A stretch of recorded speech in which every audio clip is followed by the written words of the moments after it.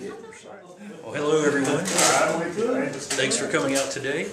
My name is Kevin Griffin. I'm the current Vice President of the Chamber, and we're here at United Services Credit Union for their expansion of service into the whole uh, McDowell County area.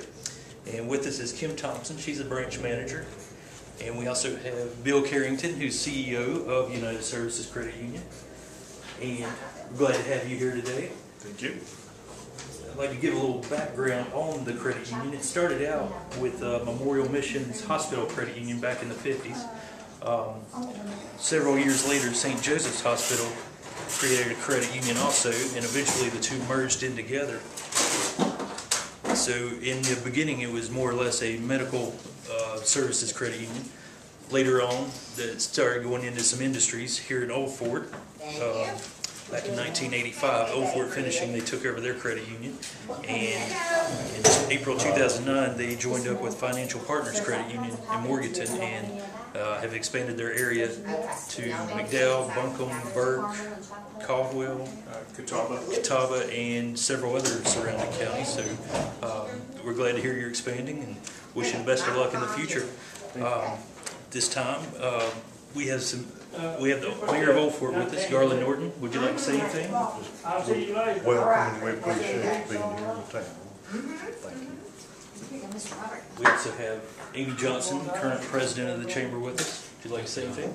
We would like to welcome United Services and say thank you for being a part and uh, being a part of the ribbon cutting. And glad to be part of this credit union because I'm a part of the credit union also. So congratulations.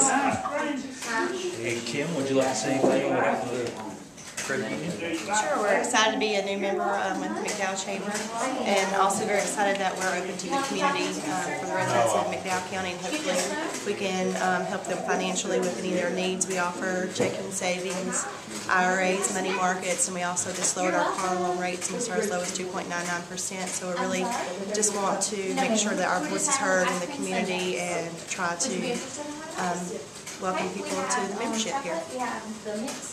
Bill, would you like to say anything? Sure. Well, I uh, certainly th- thank and appreciate the chamber coming out and uh, the support we've received from uh, the town of Old Fort and uh, McDowell County. We look forward to uh, working with everyone.